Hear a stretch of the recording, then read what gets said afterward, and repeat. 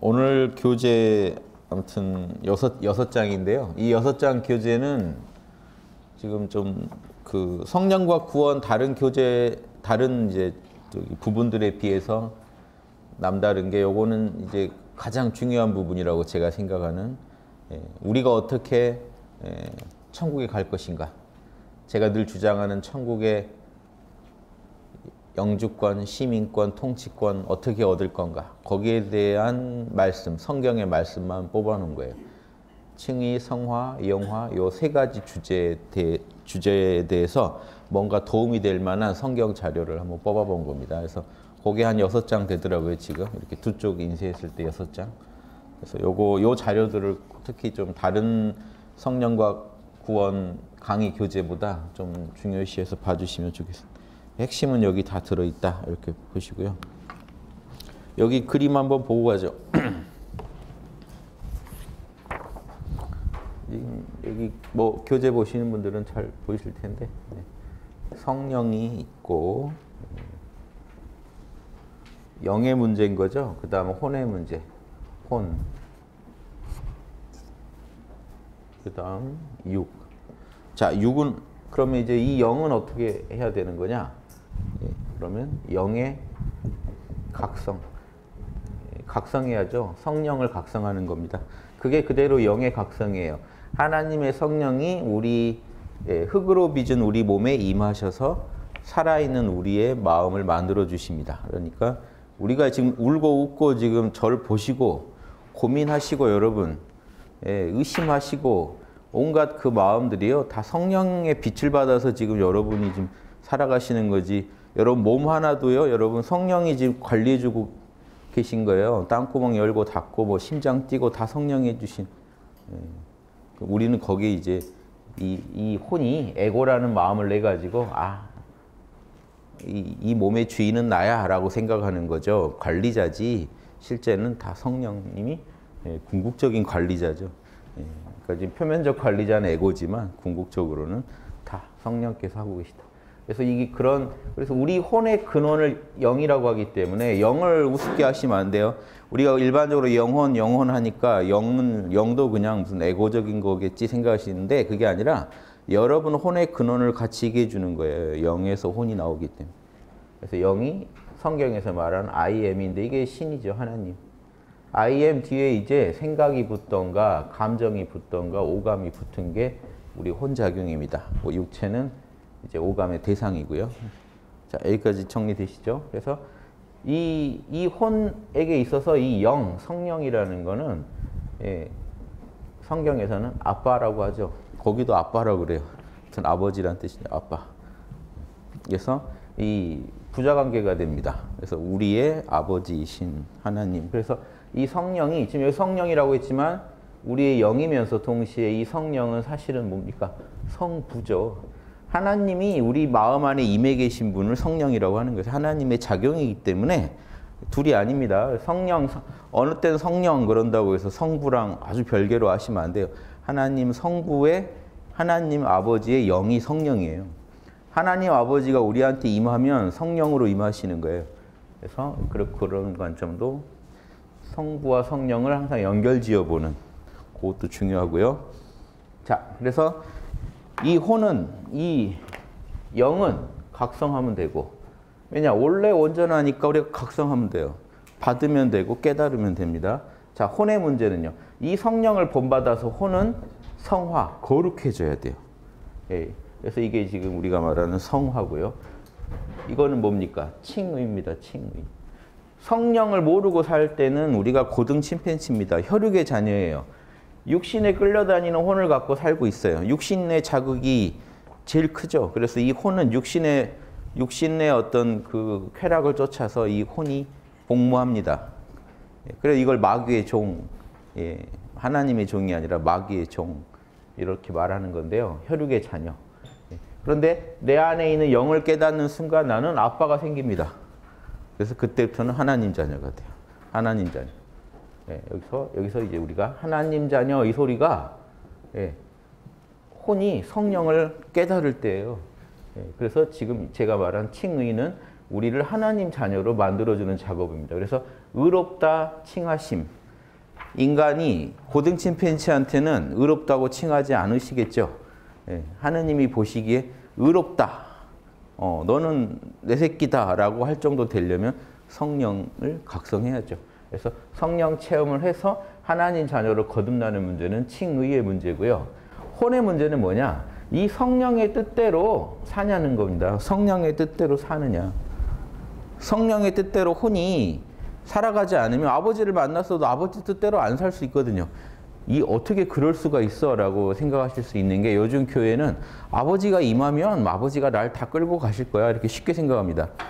그런데 성경을 분석해 보면 안 그래요. 사도 바울도 계속 고뇌해요. 아버지 뜻을 따르고자 하는 마음도 있지만 동시에 이 혼은요 육의 자극에도 여전히 끌립니다. 혼에 혼에 대 성령에 대해서도 끌려가지만 육에 대해서 여전히 끌려갑니다. 이 중간에 위치해 있거든요. 혼이 왔다 갔다 해요. 그래서 동양 철학에서도 주제가 하느님의 마음인 도심, 진리의 마음은 미약하고 이게 서경에 나온 말입니다.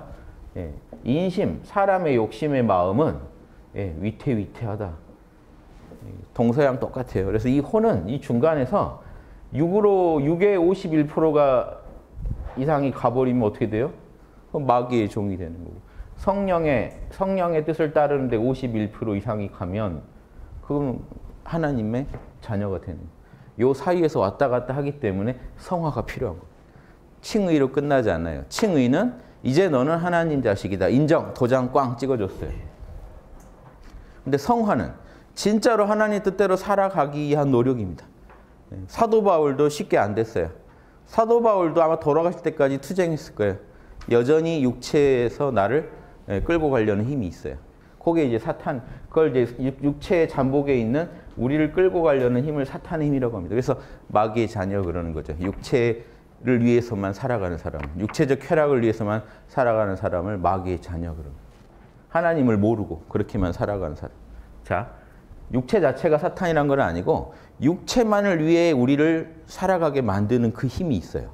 그렇게 자극해 자극해 가지고 우리를 예, 육체적 쾌락만을 위해 살게 만드는 하나님을 보지 볼 필요 없어 하나님은 그냥 육체의 쾌락을 위해서만 너가 예, 열심히 복무하면 돼라고 여러분을 끌고 가는 그 마음을 이제 사탄의 사탄의 영이라고 하는 이 사탄의 영적 작용 때문에 우리가 계속 육체에 너무 취약한 겁니다. 육체의 유혹에 너무 면역력이 안 생겨요. 또 끌려가요. 또 끌려가. 그래서 이 그 그보다 더 강력한 여러분 내에서 자극을 받아야 됩니다. 실제로 혼은. 성령을 실제로 만나지 않으시면요. 평생 뭐 신앙을 갖고 교회를 다니고 해도 하나님에 대해서 내가 생각해 본 바는 많지만 실제 하나님은 만난 적이 없다. 그렇다면 이분 내면은 너무 취약한 상태입니다. 사실 면역력이 없어요. 그 육체적 자극이 왔을 때 예, 끌려가기가 쉽습니다. 왜냐? 성령은 그만큼 내 마음에서 자극이 안 되니까. 근데 실제로 성령이 우리 내면에 제대로 각성돼서 임하면 우리는 영, 이 육적인 쾌락을 잊어버릴 정도로 강력한 힘으로 성령의 뜻에 끌려가는 체험을 하게 됩니다. 그런 체험들이 나날이 쌓여가는 것을 성화라고 합니다. 성화의 공부가 있어야 돼. 점점 거룩해져 가는 거죠. 그러니까 지금 보세요. 하나님 자녀를 성도라고 하죠. 성인 성자 써가지고 이제 무리 도자 써서 성도는 거룩한 물이란 뜻이에요. 거룩한 물이. 그럼 거룩해져야 돼요. 하나님 자녀는 거룩한 존재입니다. 거룩한 존재예요. 여기 세인트들이에요. 세인트들. 성도. 그래서 요즘 어떤 저 기독교 단체에서 어, 세속 성자라고 우리는 세속의 성자들이다. 그게 이제 성도들을 말하는 거예요. 세속 속에 살아가는 교회 밖에서 또 하나님 뜻대로 살아가는 그런 거룩한 무리가 되자. 그런 걸 세속 성자라고도 부르시다. 성자란 말이 어, 새롭다 별게 아니라 성도의 단수예요. 그냥 복수가 성도면 거룩한 무리. 여러분 여러분 개인은 거룩한 개인 아닙니까? 그러면 성자입니다. 그래서 이 성자가 되자는 거예요. 그러니까 성령만 받아도 나는 하나님 자녀다 이렇게 만족하시면 안 되는 게 거룩해지려는 노력이 없다면 거룩하다는 이름을 붙이게 민망하지 않으시겠어요? 그래서 칭의는 거룩해지는 시작점이에요. 여기서부터 시작은 돼요. 왜? 하나님 자녀가 됐잖아요. 성령과 이제 하나가, 하나가 돼서 살아가게 됐잖아요. 성령의 불이 내 안에 이제 일시적인 체험으로는 칭의 체험인 거고요. 지금 제가 말하는 칭의가 이루어졌다 하는 정도는 내 안에서 성령이 이제 안 사라지고 성령님이 왔다 갔다 하는 게 아니라 내 안에 확고히 자리를 잡고 계신 거를 여러분이 아실 수 있을 때예요. 성령님이야 늘 계실 수도 있죠. 우리가 몰라서 문제죠. 내가 알 수 있어야 돼요. 내가 체험하고 내가 알고. 그게 지속적으로 이루어질 때 칭의가 완성됩니다. 칭의도 그럼 일시적인 체험에서 시작되지 않을까요? 일시적인 체험에서 어떤 영구적인 어떤 안착이 와야 돼요. 그렇죠. 마찬가지로 성화도 그렇습니다. 일시적인 어떤 성화가 아니라 영구적인 성화로 안착돼야 돼요. 다 이런 식입니다. 처음에 체험이 와요. 그 다음에 완전히 그게 내 것으로 소화가 되죠. 마찬가지로 그런 체험들이 소화가 되는 거예요. 성령을 만난 체험이 소화가 돼야 되고 성령의 뜻을 따라가, 따라서 살아가는 삶의 체험이 완전히 소화가 돼서 안착이 돼야 돼. 자, 이런 단계로 우리는 거룩해지는. 그래서 성도가 되려면 거룩은 필수다. 그래서 그런데 성령님이 임했으니까 우리가 거룩해진 거지 거룩한 무리가 된 거지 칭의 없이 이렇게 성화가 이루어질 수가 있나요? 따라서 지금 이 칭의 차원에서는 거룩에 이르는 열매가 열매가 이제 맺힌 상태죠. 열매는 만들어졌어요. 그게 이제 성화는 이제 익어가 하는 당 이거가. 익어야죠. 익어야 뭐 열매가 맺히기만 하면 뭡니까? 설익어 있는데. 그러니까 설익은 열매의 상태라는 걸 아셔야 돼요. 칭의에만 만족하면 설익은 열매다. 예. 성화가 이루어져야 열매가 온전히 익어간다. 익어간다. 그래서 이 육, 이, 그리고 이제 이게 나아가서 6차원까지 가면 6은요, 6은 결국 영적인 육을 얻어야 됩니다. 우리 육체는 죽게 돼 있어요. 그래서 이거를 영화라고 합니다.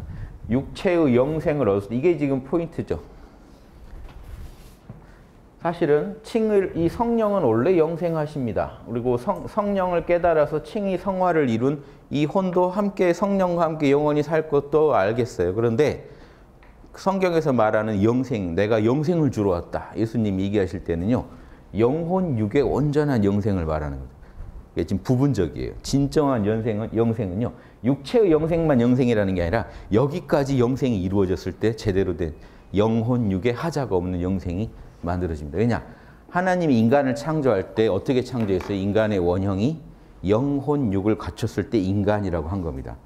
그러니까 여러분이 온전한 인간이 된다. 예수님이 나는 사람의 아들이라는 걸 강조한 거는 내가 온전한 인간이 뭔지 보여주려고 왔다 이 뜻이거든요. 근데 온전한 인간에서 육이 빠져 있지 않아요. 절대로. 그래서 중세 시대에 토마스 아퀴나스의 신학대전 같은 거 보시면요. 거기 보면은요. 철저합니다. 중세 수도사들도. 어, 천국에 갔을 때 육체가 있느냐 없느냐 이런 논쟁이 있어요. 당연히 육체가 있어야 돼요. 육체가 없으면 인간이라고 할 수 없다는 거예요. 하나님이 창조하신 그 보기 좋더라 하던 인간이 아니라는 거예요. 그래서 이 그런데 이 육체는 한계가 있잖아요. 그러니까 영적인 육체, 부활체라고 하는 그 육체가 반드시 있어야 된다. 그래서 이 부활체가 영생의 되게 중요한 부분이라는 걸 아시라는 거예요. 이게 영생의 전부는 아닙니다만 성령이 중요하죠. 근데 성령으로 인해 만들어진 육체가 육체까지 분명히 갖춰져야 한다. 그래야 천국에서 온전히 왕노릇하고 통치권을 갖고 살 수 있다. 제가 이 주장을 이제 어떻게 얘기했습니까? 칭의는 칭의는 칭의는 천국의 영주권.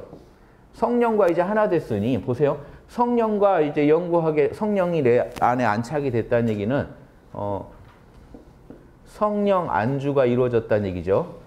자 여기까지 조 금만 더 살펴보고 진도 나가면 이해 잘 되실 거예요. 지금 여기까지만 이해하시면 이 그림을 잘 이해하시면 자 거룩한 무리가 여기서부터 사실은 이제 거룩한 무리로 불리겠지만 진짜 거룩하다는 소리 들으려면 성화를 해야 되는데 성화라는 건 뭡니까? 진리에 안주했다는 거예요. 성령에는 이미 안주했어요. 그런데 성령의 뜻을 뜻에 따른다는 것은 성령 안에 있는 진리, 성령 안에 있는 십자가의 진리, 성령 안에는 하나님의 진리가 있겠죠. 요한복음에 태초에 로고스가 있었다 할 때 그 로고스가 있어요. 하나님 안에는 말씀 로고스가 있어야 돼요. 그걸로 우주가 창조됐고 그걸로 우주가 굴러가니까요. 그 질서가 있겠죠. 그 질서, 성령의 법이 뭐냐? 다른 거 없어요. 여러분 황금률이라고만 하시면 돼요. 내가 받고 싶은 거 먼저 해줘라. 사랑해라. 그 사랑하라는 법을 예수님이 와서 보여주신 거예요. 그 사랑 인류를 사랑하, 사랑하는 삶을 사시다가 자기 생명까지 바치고 돌아가시는 모습을 보여주신 거예요. 로고스를 온몸으로 보여주신 거예요. 근데 꼭 죽어야 로고스를 보여준 게 아니라 그 인류를 대했던 모든 태도가 사랑이었단 말이에요. 거기서 우리가 이제 배울 다 배워야죠. 그러니까 그 생전의 제자가 하나님 좀 보여주세요라고 했을 때 너 나랑 같이 안 살았냐? 이런. 너 계속 나랑 살았잖아. 봤잖아. 내가 계속 사랑의 진리를 따라 살아가는 거 봤잖아. 내가 길이요 진리라니까. 내가 살아가는 방식대로만 너희도 살면 돼. 요 얘기할 정도로 온몸으로 진리를 본인이 보여주셨다는 것에 있어서는 아주 확언하셨죠. 그 삶을 따라가는 겁니다. 그렇게 진리에 안주해야 돼요. 성령에만 안주하면 안 되고 이제 한 단계 깊어져 가는 거예요. 별, 아주 별개의 단계가 아니고 성령의 안주가 깊어져서 성령 안에 있는 진리까지 이해하고 따르게 된 거예요. 여기서 한 단계 더 나가서 영화까지 가야 됩니다. 영화는 천국의 제가 통치권까지 얻은 것이다. 어떤 식으로 다른 식으로는 천국에 내집 마련된 거다. 왜냐? 뭐가 창조돼요? 육체까지 창조가 됐기 때문에 이건요 천지 창조의 어떤 완성과 같아요. 영혼 육이 새롭게 창조된 거예요. 보세요. 성령으로 인해서 내 혼이 거듭났죠. 그리고 혼이 거룩해졌죠. 그리고 내 육체까지 영, 영원히 살게 됐죠. 이렇게 해서 새 창조가 완결되는 겁니다. 그러니까 이게 창세기예요. 새로운 창세기를 쓰라, 쓰라는 거예요. 여러분 각자 쓰시, 쓰셔야 되는 거예요. 예수님이 창세기에 또 새로운 창세기에 문을 열어주시고 가신 거예요. 인류는 이런 식으로 새롭게 창조될 수 있다. 새로운 피조물이 될 수 있다. 고등 침팬치로 살 게 아니고 하나님의 형상으로 하나님의 영의, 영을 받아서 하나님의 영에 담겨 있는 하나님의 형, 진리란 건 하나님의 형상을 말합니다. 하나님의 형상대로 살아가면서 온전한 영원히 죽지 않는 육체까지 얻어서 진정한 인간이 뭔지 한번 구현해 보자 하는 그거를 첫 문을 예수님이 여신 거고 나, 나를 따르라 나처럼 하면 된다 하고 인류에게 천국을 선포하신 거예요. 그럼 온 인류는 지금 이대로 우리가 지금 고등 침팬지로 태어나 살고 있지만 예, 천국의 예, 주민이 될 수 있다. 천국에서 살아갈 수 있다. 뭐, 천국은 내가 다스린다. 내가 다스리는 세계에 다 같이 들어와서 살자. 나를 머리로 하여 예, 우리 함께 새로운 천국 생활을 해보자. 그러니까 예수님이 돌아가셔 다시 살아나셔서 즉 부활하셔가지고 제자들한테 무슨 얘기했느냐? 성경에 뭐라고 나냐면 부활한 뒤에 돌아다니시면서 천국에 대해서만 얘기하고 가셨다고 돼 있어요. 오직 하나님 나라에 대해서만 계속 얘기를 하시. 하나님 나라 들어가 이런 얘기 하셨겠죠. 영주권 따야 돼, 시민권 따야 돼, 통치권 따야 돼. 그러면 한 천국에 들어갈 수 있어. 어, 너만 들어가면 안 돼. 다른 사람들까지 데리고 들어가서 예, 천국을 확장해야 돼. 나도 나 혼자 들어갈 거면 나도 이미 천국에 사는데 내가 왜 내려와가지고 이 고생했겠느냐? 너희까지 다 데리고 들어가려고 온 거야. 너희도 나처럼 살아. 나보다 더 큰 일도 할 거야. 그게 뭐냐면 나보다 더 많은 사람들을 끌어들일 수도 있을 거야. 너희들이 노력하는 것에 따라서. 그래서 천국을 제대로 확장시킬 수 있을 거야. 이런 식의 이런 이런 얘기를 많이 하셨겠죠. 생전에 제자들한테. 그래서 지금 이런 이 칭의 성화 영화는 제가 만든 게 아닙니다. 성경에 특히 바울 신학의 제일 기본 뼈대예요. 칭의, 성화, 영화. 바울은 항상 이 세, 3단계를 가지고 얘기해요. 이게 열매 맺고 보세요. 열매 맺고 열매가 있고 그다음 열매가 제대로 익으면 어떻게 돼요? 영화는 수확입니다. 수확. 그래서 항상 3단계예요. 열매를 매, 열매가 맺고 열매가 익어서 뭐 익었다 하면 이제 때가 때를 기다렸다 제때 때를 기다렸다 어때요? 제때 수확을 합니다. 그게 이게 칭의, 성화, 영화예요. 수학은 이제 어디로 가요? 수학했다는 건 천국에서 온전히 내 집 마련하고 예, 새로운 육체까지 창조된 육체를 가지고 내가 창조한 건 아니죠. 하나님이 창조하신 육체를 가지고 거기서 살아간다는 거. 근데 내 노력이 필요하다는 거죠. 내 적절한 노력이 기울어졌을 때 그런 하나님의 그 은혜가 나, 나에게 내려가지고 예, 칭의, 성화, 영화 각 단계를 순조롭게 밟아서 천국에서 예수님과 함께 왕노릇할 수 있는 그런 존재가 될 수 있다. 자, 여기 이게 큰 스토리입니다. 지금 이 안에 지금 성경 얘기가 지금 다 들어 있어요. 그래서 제가 요, 요 이제 교재가 중요하다는 게 요 관련 이제 성경 말씀들을 쭉 살펴볼 거거든요. 그래서 이, 런큰 뼈대 속에서 우리가 이해하시면 성경이 또 새롭게 보이시고 성경은 근본적으로 복음을 담은 거고요. 특히 신약 성서는 온전히 복음 예수님이 전, 이, 전파하시고 선포하신 그 복음의 내용 전하는 게 임무 아닙니까? 성경은. 근데 복음이 뭐냐? 예수님은 계속 하느님 나라 가란 얘기밖에 안 했단 말이에요. 복음의 메시지는 너희들도 이제 하느님 나라 들어갈 수 있어 이거예요. 왜 이게 복음인지 아세요? 구약 시대를 거쳐서 이 창세기 때 우리 뭐, 뭐 창세기에 나온 대표적 사건이 뭐죠? 에덴 동산에서 인류가 쫓겨났어요. 하나님이 보기 좋다고 인간을 만들었는데 인간을 쫓아냅니다. 여기 있지 마라 하고 쫓아내. 고생 좀 해봐라. 그래서 하나님으로부터 완전히 떨어져서 이 지상에서 고등 침팬지로서 힘들게 힘들게 원시 시대를 거치면서 이렇게 살고 있어요. 조금씩 진화해 가면서 이 정도까지 살았어요. 그런데 예수님이 그 당시 정도 문명 정도의 발전도 꽤 발전한 거거든요. 지금보다 못하겠지만 그 시대에 오셔서 창세기 일의 이야기를 다 아는 유대의 민족한테 복음을 전한다는 게 뭐냐? 기쁜 소식이 왔어. 딱 하나입니다. 유대인들이 원하는 것. 다시 에덴 동산 들어가는 거예요. 에덴 동산에서 이제 받아준대 라고 전한 게 복음의 소식. 하느님 나라에서 이제 너희들 받아준대. 천국으로 들어갈 수 있어. 그 얘기 뭐냐? 하느님이 직접 통치하는 세상에서 살 수 있어. 이제 더러운 꼴 안 봐도 돼.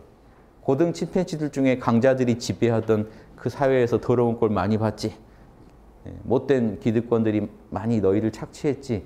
이제 그런 꼴을 안 봐도 되고 또 이민족이죠. 다른 못된 다른 나라의 못된 또 고등 침팬지들이 와서 또 너희들 그렇게 괴롭혔지. 이제 그런 더러운 꼴을 안 보고 하느님이 직접 통치하는 그런 세상에서 살다 가면 돼.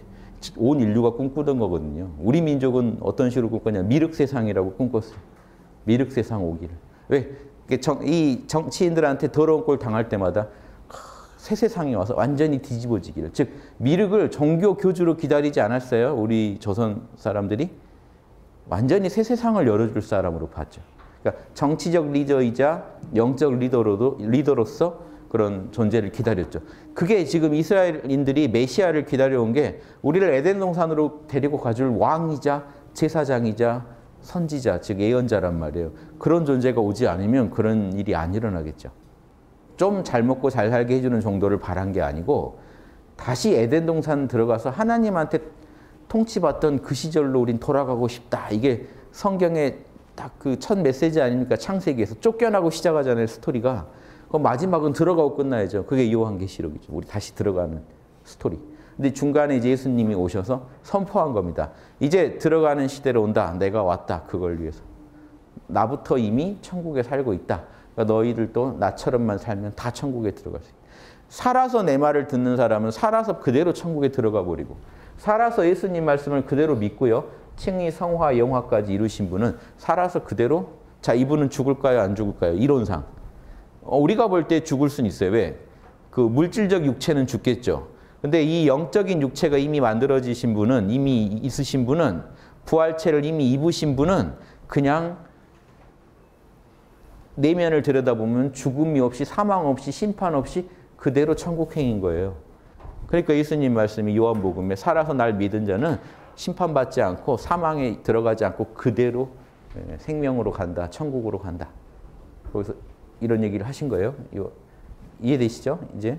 그러니까 지금 만약에 재림만 기다리자 그러면 사도들 입장 예수님 말씀보다 사도들의 말을 더 중시하는 사도들은 본인들이 그런 말을 못해요 감히 그러니까 사도들은 자 칭의 성화까지는 할 수 있겠어요 노력하면 하죠 칭의 성화까지 열심히 하면서 예수님이 와, 오셔서 그 영적인 육체를 쏴주셔서 우리를 천국에 들어가게 해주는 고 제대로 천국의 통치권을 가지고 들어가는 것은 예수님의 재림을 기다리자라는 입장입니다. 사도들은. 그러니까 이 지상에서 거룩에 이르는 열매를 맺고 그 열매를 아주 아주 익은 열매로 만들어서 하는 예수님이 오셔서 수확하기를 기다리자는 거예요. 예수님의 수확의 때를 기다리자. 이게 사도들의 논조입니다. 좀 다르죠. 예수님은 살아서 그대로 들어가 버려라라고 얘기했다면 그리고 혹시 못 들어간 사람들은 죽은, 죽은 뒤에라도 내가 가서 반드시 데리고 들어가 주마. 그러니까 일종의 살아서 못 들어간 사람들은 나중에 내가 너희가 무덤에 누워 있을 때 내가 어떻게든 살려내 주마. 부활에 들어가게 해주마. 그러니까 열심히 하나님의 뜻대로 살다 죽은 사람은 반드시 그 보상을 줄 것이다. 천국에 들어가게 해줄 것이다. 이 얘기 두 얘기를 하셨거든요. 근데 단 살아서 믿는 자는 그대로 천국행이다. 근데 혹시 죽었다면 죽은 이들은 나중에 내가 무덤에서 다 들을 수 있게 내가 선포해서 진리를 선포해서 다시 부활시켜서 끌고 가마. 요 얘기 중에 사도들은 앞에 얘기보다는 뒷 얘기에 더 신경 쓸 수밖에 없습니다. 예, 예수님이 안 오시니까. 그리고 오실 거라고 믿음 속에서는 근데 예수님이 오시기 전에 내가 죽을 수 있는 거 아니에요. 그러니까 내가 죽더라도 성화의 삶을 살다 죽으면 예수님이 반드시 나를 구원하시리라는 믿음을 갖고 신앙을 하는 거죠. 곧 오실 줄 알 때는 이제 살아서 올라가리라고 믿었겠지만 또 안 오실 때는 안 오실 때, 안 오신다. 그럼 내가 먼저 죽는다. 예수님이 오시기 전에. 그러면 죽은 뒤에라도 반드시 구원해 주마 하는 예수님의 말씀이 크게 들릴 수밖에 없지 않나요? 이래서 이 두 가지 말씀을 다 해놓으신 거예요. 요한복음엔 동시에 두 말이 다 나와요. 살아서 믿는 자는 바로 승천이다. 하지만 죽는 자는 무덤에 내가 들을 수 있게 진리를 선포해서 반드시 데리고 올라가 부활시켜서 데리고 올라가마. 네. 자, 그래서 요한계시록에서 또 보면은 무덤에 있는 자들을 다 부활시킨 다음에 한쪽은 지옥행, 한쪽은 천국행. 일단 부활은 다 해요, 여러분. 지금 돌아가셨 예수님 안 오네 하고 나 지, 지옥 갈 일은 없겠다. 예수님이 안 오시니까 돌아가셔봤자 안 됩니다. 나중에 예수님이 심판의 날은 그래서 심판의 날이에요. 다 살려내요. 그 다음에 하나님의 권능으로 다 살려낸 다음에 한쪽은 지옥행, 한쪽은 천국행. 그러니까 이런 권능을 강조하셨기 때문에 사람들은 이 영적인 몸에 대해서 그냥 예수님이 쏴주는 걸로만 이해하시고 하나님이 쏴주는 걸로 이해하시는 거죠. 예. 그러니까 나는 성화까지만 최선을 다해 노력하면 어, 수학은 하나님이 알아서 하시는 거지. 수학할 때 나한테 그게 성경에서는 그 부활체를 상징하는 게 흰 옷입니다. 흰 두루마기 흰 두루마기 흰 옷을 나한테 주시면 입고 천국 가면 돼. 이 정도로 이제 쉽게 생각하세요. 근데 저는 그거예요. 재림을 기다리지 마시고 예수님 말씀에 충실하다면 지금 살아서 그대로 여러분 내면에 이 부활체를 이 육체에 덧입으시는 그 체험도 있어야 된다는 살아서. 예수님이 다시 와서 쏴주시는 게 아니라 여러분 내면에 이미 성령 임해 계시면 여러분은 이미 예수님과 하나예요. 성부, 성자, 성령과 하나 아닙니까? 그럼 여러분한테 이미 그 권능이 임할 거라는 거예요. 영적인 육체에 대한 권능도 이미 임하실 거라는. 그래서 그래야 살아서 내 말 믿고 따르는 자는 살아서 절대 사망에 들지 않고 그대로 천국 갈 거야 라는 얘기가 맞는 거죠. 재림의 날까지 기다려야 되라고 안, 했, 안 하셨단 말이에요. 그냥 살아서 바로 간다 그랬지. 나중에 내가 다시 올 때그 그때 그때 내가 다시 올 때 얘기하실 때는 항상 그때는 죽어 있는 자들도 내가 깨워서 데리고 갈게 이런 식 얘기를 하신다. 좀 약간 다르죠 느낌이. 내가 다시 올 때는 죽은 자들에 대한 배려를 많이 하신단 말이에요. 그럼 지금 내 얘기 듣고 살아있을 때 바로 승천해 버리면 되잖아. 그리고 이 얘기까지 하세요. 여기 교재 안에도 있는 자료입니다. 복음이 내가 복음을 선포한 이후로는 천국에 천국을 침략하는 자들이 많아진다. 이게 나쁜 의미의 침략이 아니에요. 그들이 천국을 차지할 거다 그럽니다. 그러니까 내 얘기가 지금 나간 이후 복음의 비밀이 선포된 이후는 자 이제 우리 천국의 문 열렸대라고 예수님이 선포한 거죠. 에덴 동산에서 다시 사람 봤는데 이때 막 이제 사람들이 몰려가면 좀비처럼 막 몰려가서 천국의 침략이 이루어지고 있고 그 침, 천국을 침략하는 자들이 천국을 차지하리라 이렇게 예수님 얘기하죠. 그러니까 지금 내가 복음을 선포한 일에 천국에 침략하는 자들이 많다. 천국을 막 기어 들어간 자들이 지금 생겨나고 있다라는 얘기를 하신 거예요. 그 얘기는 재림의 날까지 기다려라랑 또 다른 얘기라고요. 심판의 날에야 들어갈 거다 말을 안, 안 하셨다고요. 그 얘기는 또 따로 하시고 지금 침략해 들어가고 있다. 그들이 차지할 거다. 천국. 살아서 들어가야 된다. 이왕이면 죽은 뒤에는 죽은 뒤는 지금 예수님의 재림을 기다리는 수밖에 없잖아요. 근데 살아서는 기다림이 아니라 바로 들어간단 말이에요. 그 부분을 저는 주목해서 여러분이 읽어보시라 이겁니다. 살아서 들어간다. 어. 그래서 이 그래서 저희 홍익학장에서는 칭의를 위해서 이 참나각성 지도, 빠른 성령 체험 지도, 성화를 위해서 성화는 결국 양심대로 살자는 거거든요. 욕심 51%냐 양심 51%냐 이 얘기거든요. 양심 성찰을 통해서 양심을 실천하는 양심에 대해 이해하고 실천하는 입니다. 엄밀히 말하면 양심을 잘 이해하고 실천하는 삶을 사는 법을 지도하고 영적인 육체의 갱생을 위해서 부활을 위해서는 그 저희가 호흡 수련을 권장하는 거예요. 왜냐? 여러분이 실제로 이 호흡을 해보면 단전호흡 하면 이단이다. 막 기독교에서 그런 분들 많지만 실제로 여러분이 체험하는 성령 체험들은 다 이 단전호흡 해보시면 여러분 경락의 체험들이 상당합니다. 기독교 이 기독교인들이 단전호흡 같은 걸 모르고 여러분이 기도를 하다가 체험하는 것도 예, 우리 몸에 원래 있는 이런 에너지 에너지체의 현상들이 에너지체가 각성되는 현상들을 많이 체험하세요. 우리 몸에 이미 있다니까요. 하나님이 다 깔아놨어요. 네가 잘 챙겨서 먹어 하고. 그래서 성령을 받고요. 원래대로 이렇게 돼 있어요. 성령을 받고 진리대로 살다 보면요. 여러분 예, 하나님의 권능으로 여러분이 여러분 몸 안에 있는 에너지체를 여러분이 각성시켜서 쓸 수 있게 그 힘이 생겨요. 그러니까 살아서 바로 천국 갈 수 있는 길이 열리는 겁니다. 그걸 도와주는 작업이 호흡이에요. 왜냐? 호흡은 여러분, 호흡 여러분이 하는 거 아니에요. 지금도 성령이 해요. 여러분 숨 쉬는 거 늘 의식하시나요? 여러분이 의식 안 하면 숨 멈춘가요? 멈추나요? 성령이 지금 여러분 숨까지 다 관리하고 있어요. 에너지를 넣어주고 있다고요. 성령이 이 육체 하나도 에너지를 이렇게 관리해 주는데 이 영적인 몸이 되는 에너지에 대해서 성령이 관리 안 해주실까요? 다 알아서 해줍니다. 단 우리가 적절하게 적절하게 하나님의 숨을 귀한 줄 알고 호흡을 중시하면서 호흡에 몰입해가지고 숨을 쉬다 보면요 깨어서 양심에 맞게 살면서 예, 우리가 적절한 또 시간을 내 가지고 이 하나님의 숨결에 집중하는 수행을 한다면요 여러분 내면에서 여러분 그 성령의 에너지가 우리 몸을 어, 떤 식으로 이렇게 관리하고 있는지까지 그 비밀까지 알게 되면서 자, 놀라운 현상이 일어나요. 새로운 육체가 창조돼요. 자, 이게 그런데 어, 며칠 전에 제가 요한복음 강의도 했는데 연결되는 겁니다. 이 칭의 성화 영화를 거치면서 창조가 일어난다는 게 아주 중요한 얘기입니다. 이렇게 한번 그려볼까요, 제가?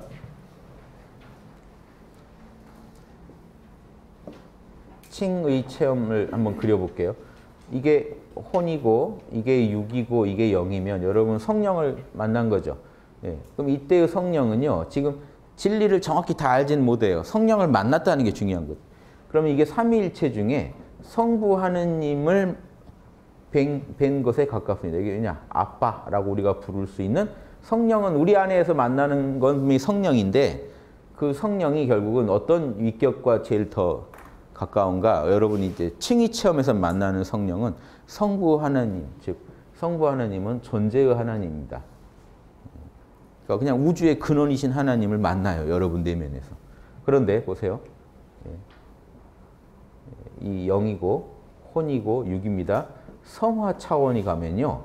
하나님 안에 있는 이 진리가 중요해진다. 이 진리대로 내 영, 혼과 육을 관리하는 게 포인트거든요. 이제 혼이 중요하지만 혼을 혼은 육은 혼을 담은 그릇이니까 육을 통해서 이제 진리가 표현되죠. 이렇게 진리가 중요해집니다. 이 진리는요. 요한복음 요한복음에 의하면요. 성부 하나님과 함께 계셨던 말씀이에요. 말씀의 하나님입니다.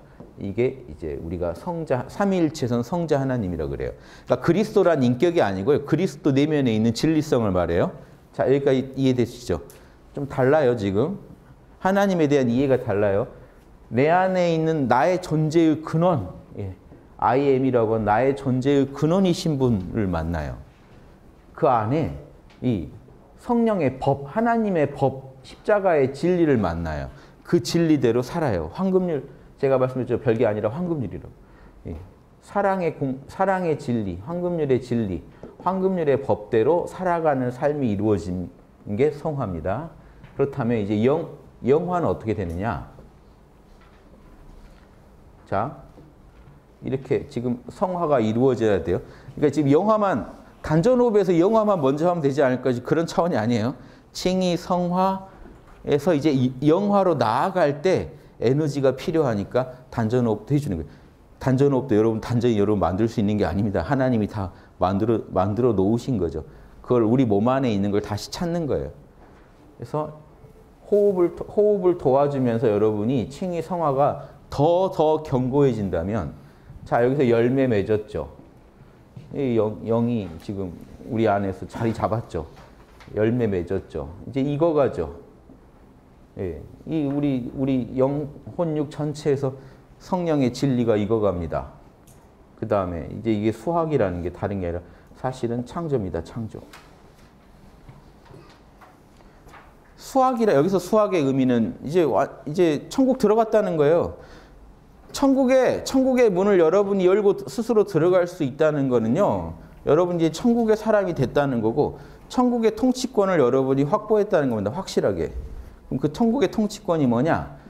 성부, 성부, 성자 나아가서 이 성령 삼위일체 하나님과 하나가 돼서 살아갈 수 있다는 그 증표가 이거라니까요. 그 증표가 육체가 만들어진다니까요. 영적인 육체가 만들어집니다. 그러면서 이, 이, 이 죽어 없어지는 육체가 사라져도 여러분은 영혼육이 온전해지니까 사망에 들지 않고 영생에 들어가 버린다라고 하는 겁니다. 아시겠어요? 요걸 아셔야 됩니다. 복음의 비밀이에요, 이게. 이거 이거 얘기 안 해주고 막 천국 가라고 다그치면 아무도 못 가요. 그 아마 자녀한테 자녀분한테 더하기 빼기 안 가르쳐주고 계속 계산하라고 하면은 돌아버릴 겁니다 서로 아마 어, 인연 끊어질 거야 아마 법을 안 가르쳐주고 자꾸 결과물을 내라고 지금 제가 법을 말씀드리는 거예요 칭의 성화 영화를 제가 그림으로 좀 이해하기 쉽게 설명 아시겠어요? 지금 이 정도 칭의 단계에서는 성령 내 안에 하나님이 계시다는 이것만으로도 감동받습니다. 그렇죠? 좀 더 나아가서는 내 인격이 거룩해져요. 내 혼과 육이 성령과 함께 움직이니까 혼, 인격이 거룩해져요. 나아가서는요. 새 몸이 생겨요.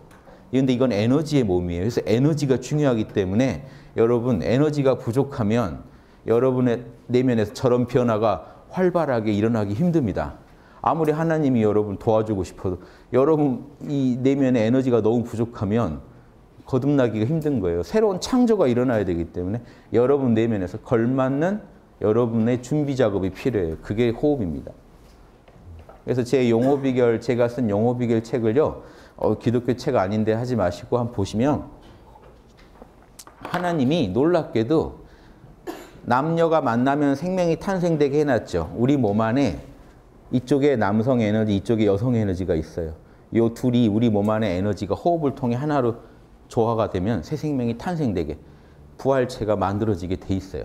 우리가 만드는 게 아니야. 하나님이 만들어주는 건데 우리가 적절한 노력을 기울여, 기울였을 때 그게 완성되더라는 거예요. 신기하죠? 자, 성령님은 여러분 안에 이미 계십니다. 근데 여러분이 적절한 노력을 기울이지 않으면 죽을 때까지 여러분 우리 안에 하나님이 계신 거 모르다 죽어요. 마찬가지로 우리 몸 안에는 이미 하나님이 이미 부활체를 깔아놨어요. 여러분 몸 안에는 이 육신만 있는 것 같죠? 내면에 에너지체가 이미 있어요. 그러니까 거기다가 침 놓고 하는 거예요. 그런데 원기, 여러분 녹용 뭐 이런 거 드실 때 원기 보충할 때 육체적 에너지가 아니라 근원적 에너지를 보충하겠다는 것 자체가 인간들이 직관적으로 알고 있어요. 우리 몸 안에는 또 다른 에너지 몸이 있다는 걸 알아요. 그 에너지 몸이 튼튼해지면 육체가 힘들어도 면역력이 생겨서 버텨내더라. 이런 이 감각이 있는데 호흡 수련을 조금만 해주시면 그 에너지체가 자라가지고 부활체로 거듭나 버립니다. 그런데 자 부활체가 되려면 조건이 있어요. 칭의 성화를 거쳐야 돼요. 이걸 안 하시고 이거 다 빼고 단전원만 죽어라고 하면요. 몸의 에너지는 강해져요. 그건 확실해. 왜 그것만 하니까 에고가 장난 아니게 됩니다. 욕심 51%의 삶을 살요. 어, 단전호흡 많이 해서 에너지 많다는 분들 보세요. 말로가 좋지 않고 하시는 짓들이 양심에 입에 되는 짓참 잘하십니다. 힘이 세가지고 카리스마 있게 남들을 잘 꼬시고 착취해요. 호흡세련 하신다는 분들 제가 볼 때 웬만한 분들은 좀 피하세요. 왜냐 그분 근처에 가려면 여러분 기까지 다 뺏기, 뺏기고 쫙 빨려요. 왜? 칭의 성화가 안 돼 있는데 에너지만 강하다. 강한 고등 침팬지가 된 거예요. 고등 침팬지가 호흡해가지고 에너지 모아서 그 에너지가 또 천지의 이 천지의 이 하느님이 이미 다 안배해 놓은 에너지죠. 근데 그 에너지를 아무튼 자기가 모아가지고 사리사욕 추구에다 쓴단 말이에요. 근데 에너지도 세니까 남들이 더 잘 휘둘린다고요. 그, 그 사람 말에. 기운 센 사람들 옆에 가 있으면 아무튼 피해 보게 돼 있어요, 여러분. 무조건. 선량한 사람 옆에 가 있어야지. 재미를 보지. 기운 센 사람 옆에 가 있으면 여러분 기운마저 빨립니다. 근데 그런데 만약에 예수님처럼 내면이 다 정화된 분이 기운이 세다. 그건 남 도와주는데 그 에너지를 쓰기 때문에 가면 좋죠, 당연히. 그 에너지에 힘 받아서 여러분도 같이 힘이 탑니다. 그 신기하죠. 그래서 그 에너지 센 사람 옆에 가면 여러분들 막 단전도 같이 공명하는 거예요. 여러분 몸이 같이 막 반응해요. 그 선한 영향을 줄 수 있느냐, 악한 영향을 줄 수, 주느냐 이거는요. 그 이거 여기서 결정됩니다, 여러분. 칭의 성화의 정도. 그러니까 요게 안 되고 바로 단전원만 해도 돼요. 저것만 전공하는 분들 있어요. 저걸 해가지고 부활체도 유사하게 막 만들어내는 분들이 있어요. 에너지 몸을. 그런데 인격이 안 돼 있기 때문에 그거는 안, 그거는 도자기 있죠. 도자기 우리가 막 구워서 전문가는 깨트려 버리죠. 우리가 보면 이쁜데 저것도 나라도 주지 한데 막아 이거 아니야 하고 깨트려. 이 지금 이 영성가에게 있어서 에너지체만 배양돼 있다. 이건 아닌 거예요. 이거는 지금. 영혼이 담기지 않은 이 에너지라는 건요 아주 위험한 물건이 될 수도 있는 여러분 인격을 파탄 내 버릴 수도 있어요. 왜냐 여러분 생각해 보세요. 지금 있는 그 자극도 유혹도 참 힘들지 않나요? 사는데? 근데 에너지 수련을 잘못하면요 그 유혹이 배가 된다고 생각해 보세요. 어, 더 힘들어져요. 여러분도 아마 원치 알면 원치 않으실 거예요. 그 그렇게 살고 싶지는 않아요. 그러니까 에너지가 배가 된다는 건 그걸 관리할 수 있는 정신력도 배가 됐을 때 여러분한테 도움이 되는 거예요. 그래서 제가 이 말씀을 꼭 이 경고를 미리 드리는 거예요. 하지만 중요한 거는 살아서 여러분이 답을 낼 수 있다. 그리고 이런 내용에 대해서 요한복음은 냄새만 풍깁니다. 살아서 어, 사망에 들지 않고 그대로 천국 갈 수 있다. 요 얘기만 하지만 실제로 이런 내용들에 대해서 구체적으로 좀 더 얘기한 곳은 도마복음이에요. 근데 도마복음은 현재 지금 뭐 이단이다 해가지고 안 보시죠 기독교인들이. 제가 도마복음을 좀 보시라고 권하는 게, 근데 봐도 이해 잘 안 되실 겁니다. 말이 어려워요.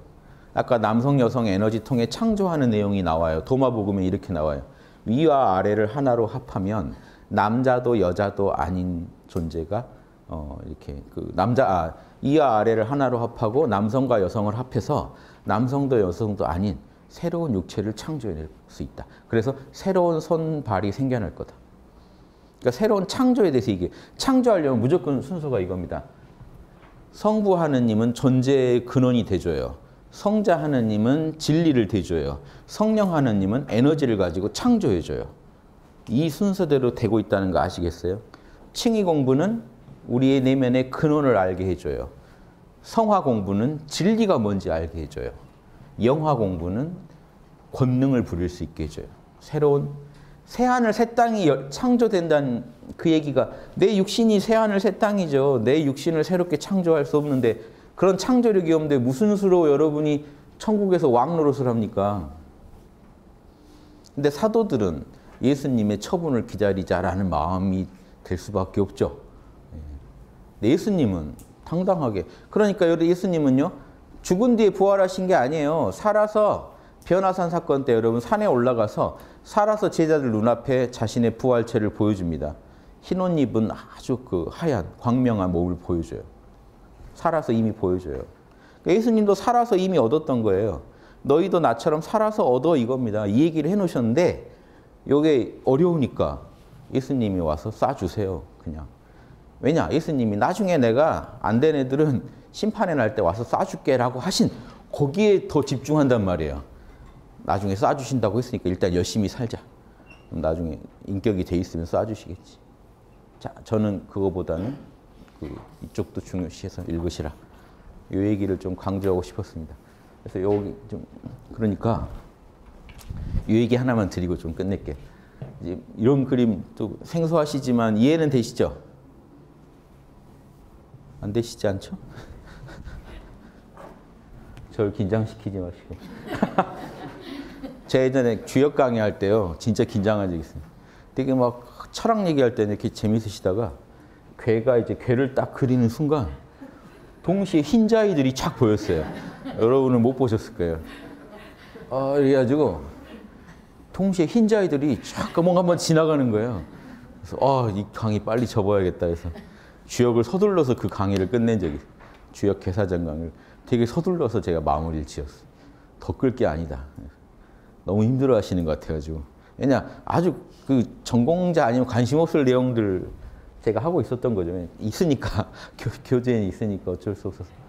그래서 이제 제가 그때의 그 두려움이 있습니다. 혹시 눈이 확 변하시면. 자, 이거, 여기 한번 주목해 보세요. 이 얘기는 꼭 알아두셔야 돼요. 저희 좀 기독교 적이지 않을 수도 있지만, 자, 보세요. 여러 종교를 좀 통합해서 제가 말씀을 드리자면, 여러분 처음에 수행하실 때 칭의 이게 참, 저희 어, 홍익학당에서 참나가 참나가 언제 어디서든 참나가 또렷하게 존재하시는 걸 체험하시는 경지입니다. 거기까지 가야 이제 영구 안착이라 그래요. 내 안에 참나가 성령이 또렷하게 자리 잡고 있다는 걸 그리고 그게 내, 내 혼의 혼의 핵이죠. 내 정신의 핵이다. 아시겠어요? 지금 여러분이 살아가시는 중에 보고 듣고 하는 중에 내 정신의 핵이 있다는 걸 자각하시면서 사셔야 돼요. I am 자리요. 내가 현존한다는 그 느낌을 나는 존재한다는 그 느낌을 계속 포착하시면서 사시는 연습을 하셔야 돼요. 그래서 일시적인 체험이 오고 나아가서 영구적인 체험으로 안착됩니다. 이게 카톨릭에서 향심기도니 뭐니 하는 게 결국 그거예요. 자꾸 자꾸 자기 중심으로 보세요.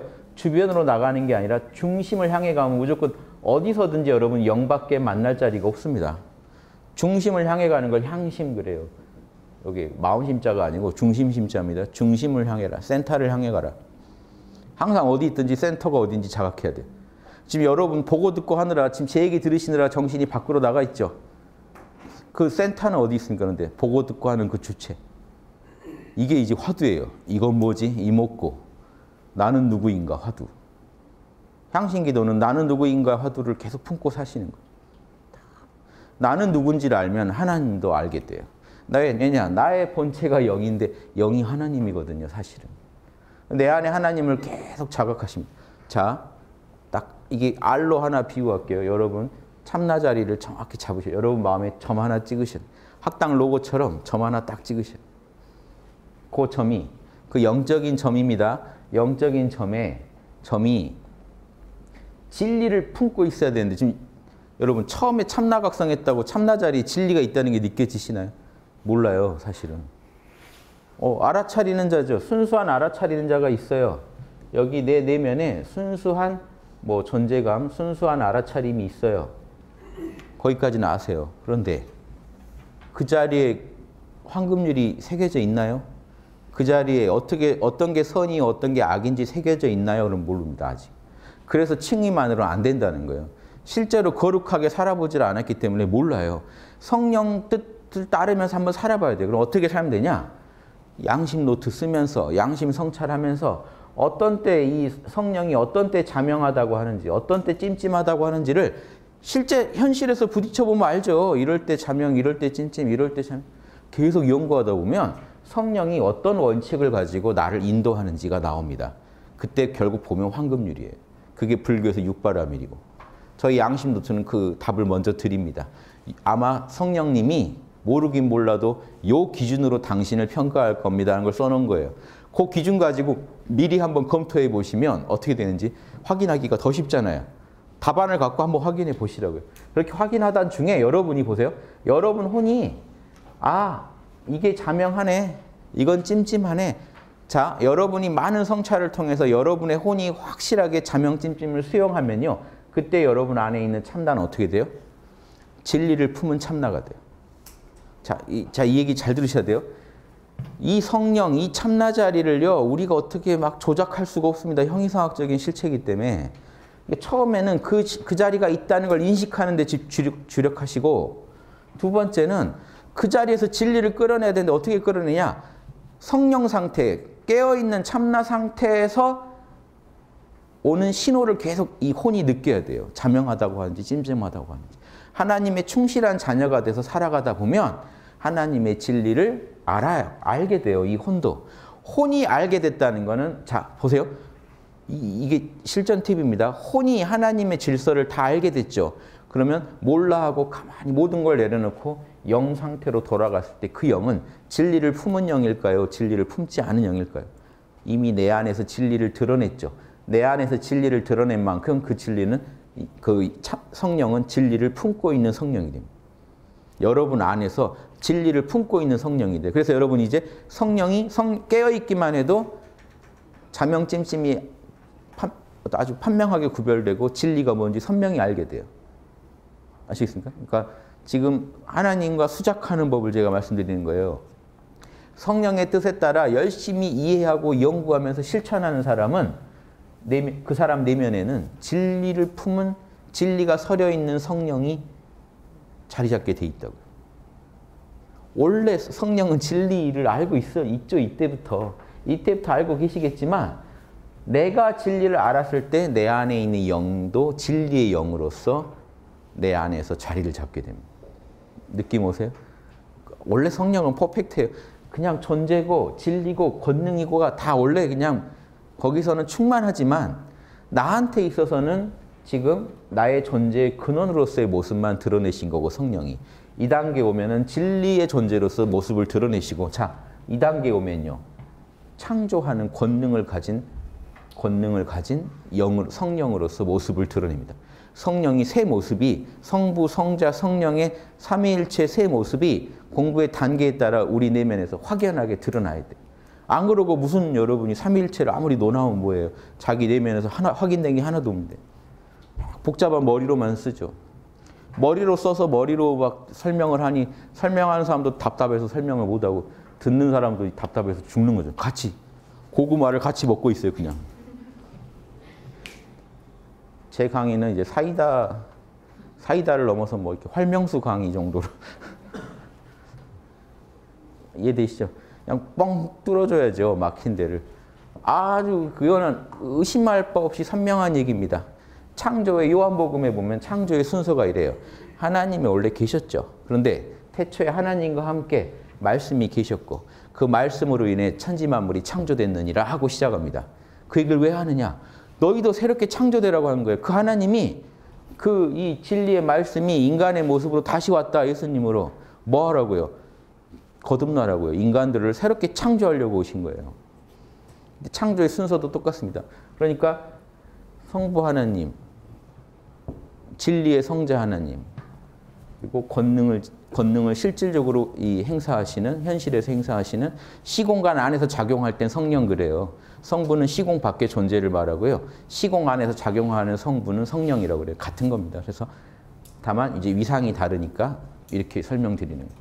그래서 자, 시공 밖에 있는 성령 하나님을 정확히 자각하고 그럼 사실은 여러분은 여러분 내면에 성령을 자각했지만 사실은 성부 하나님을 자각한 게 된다는 겁니다. 미격으로 볼 때. 그리고 여러분이 하나님의 진리를 정확히 성령의 성령에 담겨 있는 진리를 이해하게 될 때 여러분은 성자 하나님과 하나가 되는 거예요. 그리스도랑 하나가 되는 거예요. 더 나아가서 이제 여러분이 영적인 육체까지 얻게 될 때 여러분은 새로운 창조가 이루어지게 된 거고 성령의 하나님의 작용이 여러분 내면에서 온전히 드러난 거죠. 그러면 여러분이 잡고 계신 그 이 순수한 정신, 순수한 존재감, I am 그 자리가 벌써 이렇게 세 가지 모습으로 여러분한테 존재하게 된다는 것도 아시겠죠. 순수한 존재로서 나아가서 진리를 품은 존재로서 나아가서 그 진리를 품은 그 순수한 현존하는 존재가 됐다가 나아가서 새로운 육체까지 창조하는 순수한 존재로 표현합니다. 이, 이 하나이면서 세 가지 모습이 다 여러분 그 영혼에서 그 확인되고 그런 세 가지 모습이 다 온전히 여러분 내면에서 이렇게 드러나야 돼요. 표현이 돼야 돼요. 그거를 하고 난 분이 본인이 천국에 갔는지 안 갔는지 모를 리가 없고 살아서 내가 천국에 간다는 거를 모를 리가 없고 살아 있더라도 내가 천국의 시민권자인지 영주권자인지 그 통치권자인지 모를 리가 없습니다. 예, 이런 게 답이 안 나온 채로 죽은 분들은 나중에 예수님이 와서 선처를 좀 베풀어 주시기를 기다리는 것도 맞지만 살아서 이런 얘기를 들으셨으면 그냥 답을 내시면 되는 거죠. 예. 그 제가 아까 말씀드린 도마복음 보면 겁을 엄청 줘요. 거기선요. 왜 이단시 됐냐면요. 거기 이런 멘트가 지배적입니다. 살아서 답못 얻으면 죽으면 끝이야. 나중에 구해주겠다는 말을 안 하세요. 도마복음에서. 무조건 살아서 답을 내. 죽은 뒤엔 답 없어. 죽음의 신한테 끌려가 버린 뒤엔 답 없어. 이렇게 나와 버립니다. 살아서 영생을 얻지 못한 자는 답이 없다라고 세게 쳐버려요.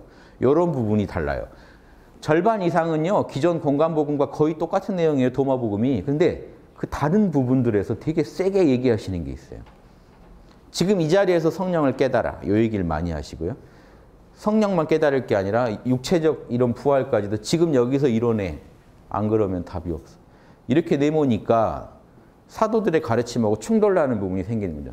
예수님 말씀하고 충돌나는 게 아니라 사도들의 말하고 충돌이 나는 거예요. 사도들은 기다리자고 하는 거거든요. 예수님의 선처를 기다리자. 재림을 기다리자.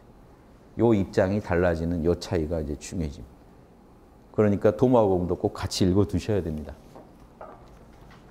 자, 자, 그 얘기는 그 얘기고 요 얘기로 지금 드리면 여러분 이거를 동양 철학 얘기 하나만 드릴게요.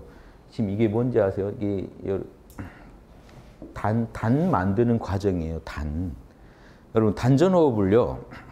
엉터리 단전호흡 하는 분들은 여기서 단을 만들려고 합니다. 여기서.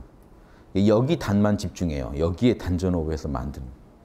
근데 진짜 고급수는 여기가 아니에요. 하단전을 이용해서 상단전을 개발하려는 겁니다. 단전으로 침. 여러분 저희 학당에서도 호흡하라고 하죠. 단전호흡 하단전에다 하라고 하죠. 단전호흡은 하단전에다 해주셔야 돼요. 여기다 집중하시면 안 돼요. 여기다 집중하시는데 여기에 에너지를 끝없이 갖다 여기다 대주는 이유가 뭐냐면요. 이 에너지가 자연 이 중에 정화된 게 위로 올라가서 상단전에 에너지를 대줘요. 자, 여기는 여러분이 의지적으로 에고를 여기다 대주면 안 돼요. 여러분 에고는 단전에다가 집중해 주세요. 그러면 여기서 알아서 성령이 알아서 에너지를 정신에다 보내줘요. 그러면 그 이 보세요. 이, 이 참나는 단에 지금 토대인데 참나 원 참나 중에 원신이라고 하는 정신작용으로서의 참나를 얻은 겁니다.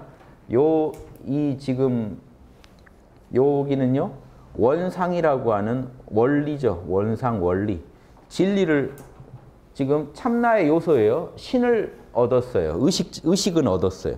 순수 의식은 얻었어요. 단의 요소 중에 단의 재료들이 이게 그 다음에 원리를 얻어요. 두 번째까지 공부를 하시다면 진리가 이제 서려 있어요. 이 단에.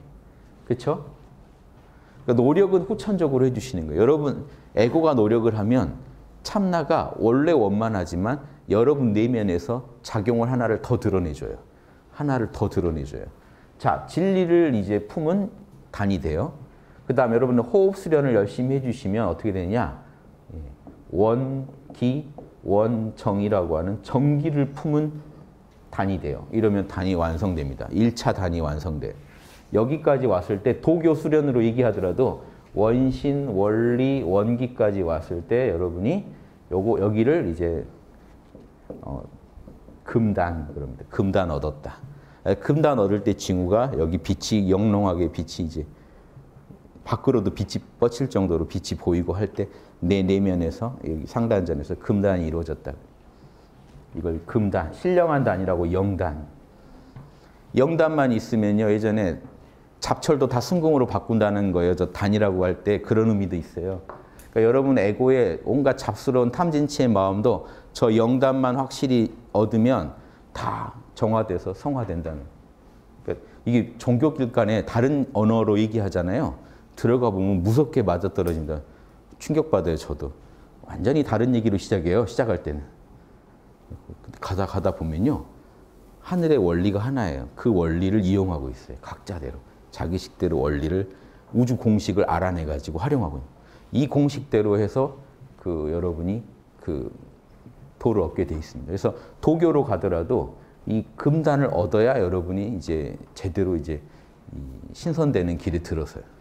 저 이거 얻기가 힘들죠. 이게 티베트 불교에서는 이거 얻은 거를요. 이렇게 정기를 먹으면 정신을 미묘한 바람과 미묘한 정액을 얻은 미묘한 마음인 원신을 정광명이라고 그래요. 청정광명입니다. 이게 청정정자 써서 청정한 빛, 빛이 터져 나오는 의식이 됐다.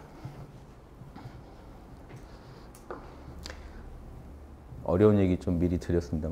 자, 이걸 왜 얘기 드렸냐? 여러분 공부하실 때 지금 수시로 지금 몰라 하고 깨어 있으셔 보세요. 딱 저기 정신 잡고 있어 보세요. 또렷하게 내 알아차리는 정신이 또렷하게 존재하나. 그 다음에 이게 이제 안착이 되면 여기에만 만족하지 마시고 지금 안착이 안 됐더라도 그 정신이 수시로 있는지 확인하시면서 양심 성찰을 계속 하시면 이 자리만 잡아도 인의지 육바라 밀진리가 잘 파악이 됩니다. 진리를 품은 영이 돼요. 진리를 품은 단이 되고 진리를 품은 영이 돼요. 나아가서 호흡 수련해 주시면 이, 이 영이요 더 파워풀해집니다.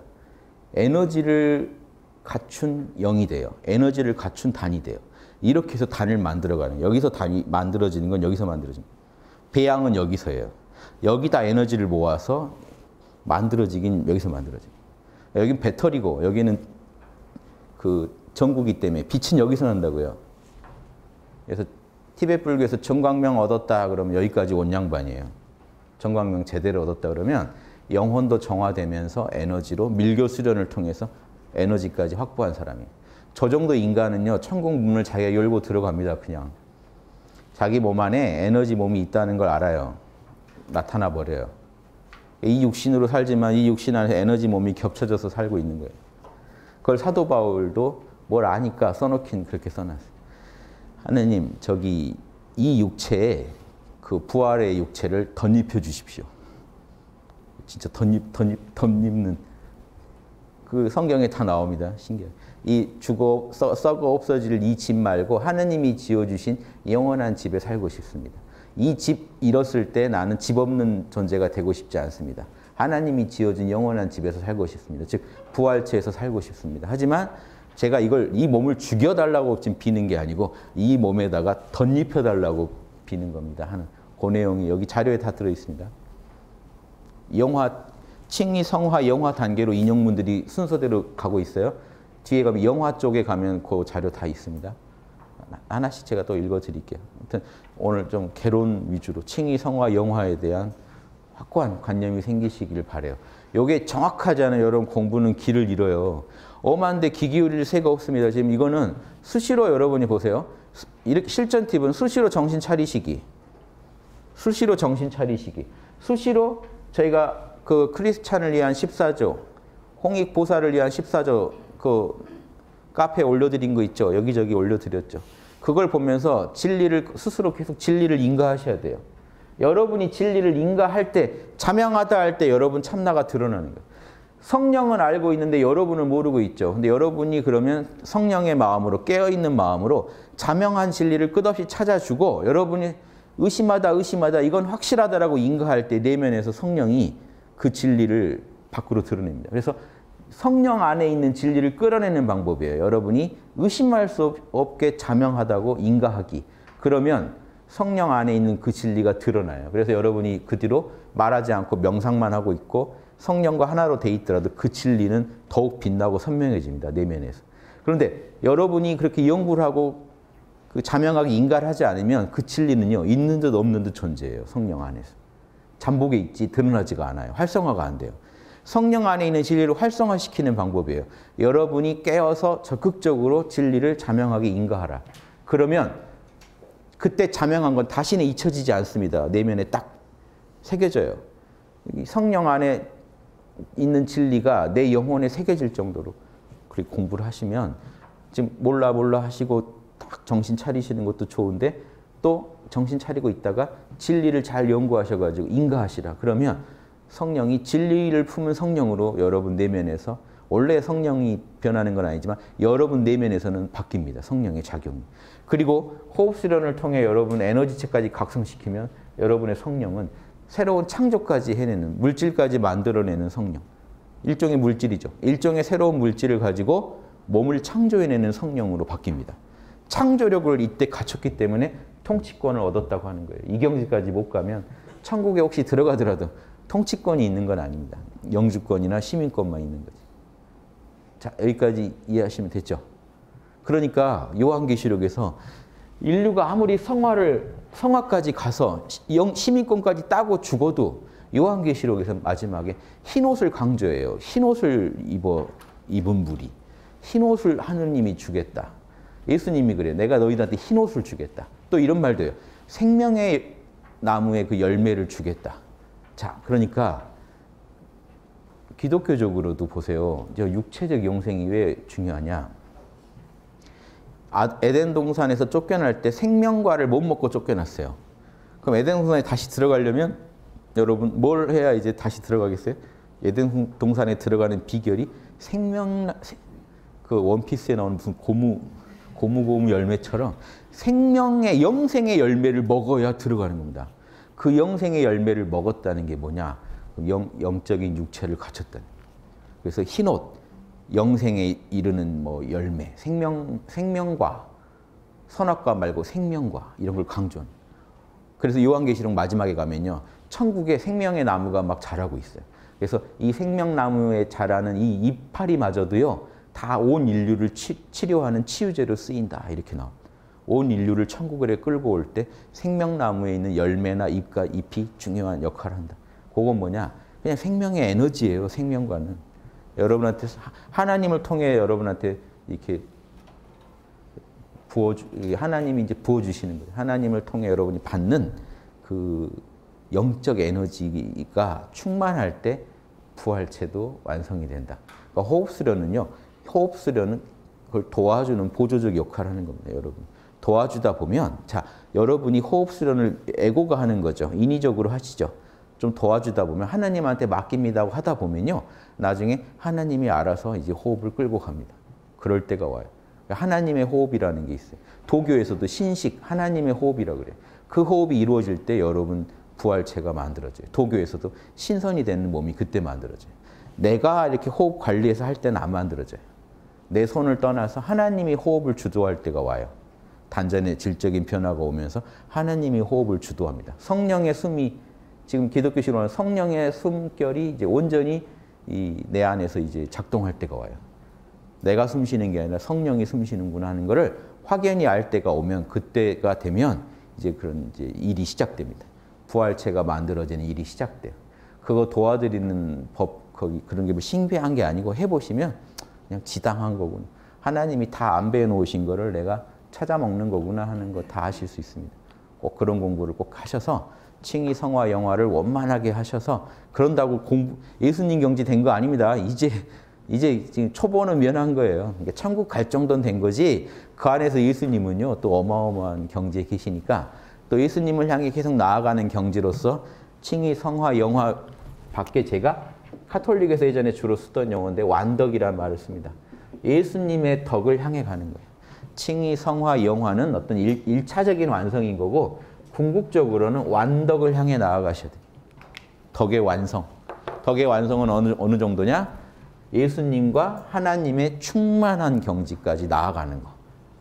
근데 우리가 인간이죠. 인간으로서 나아가는 거니까 어, 누구를 모델로 해야겠어요? 예수님을 모델로 해야죠. 같은 인간의 모습을 하고. 그러니까 하나님의 덕을 온전히 구현하겠다고 나아가겠지만 어, 이런 표현을 쓰시더라고요. 예전에 그 카톨릭 쪽에서.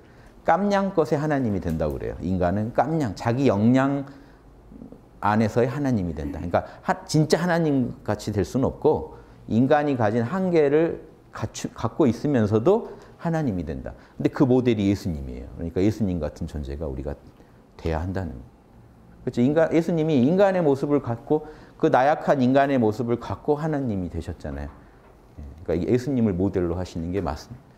예, 그래서 하나님의 충만한 경지까지 나아가라라고 해도 그거는 이상적인 얘기고 어, 구체적으로는 예수님 같은 모습이 되어라 하는 얘기입니다. 사도 바울도 그런 말을 하거든요. 하느님의 경지까지 나아가라. 그게 맞는 말이죠. 근데 그렇게 나아가면 어떤 모습이 되느냐? 예수 그리스도의 모습이 된다.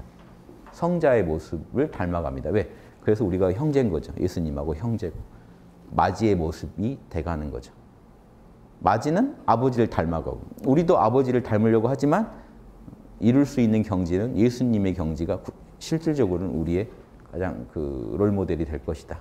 여기까지 아신다면 뭐 큰 의혹 없이 자명하게 길을 닦으실 수 있지 않을까 합니다. 예, 너무 길게 했네요. 첫 시간에. 10분 쉬고 또 천천히 나가보겠습니다. 예.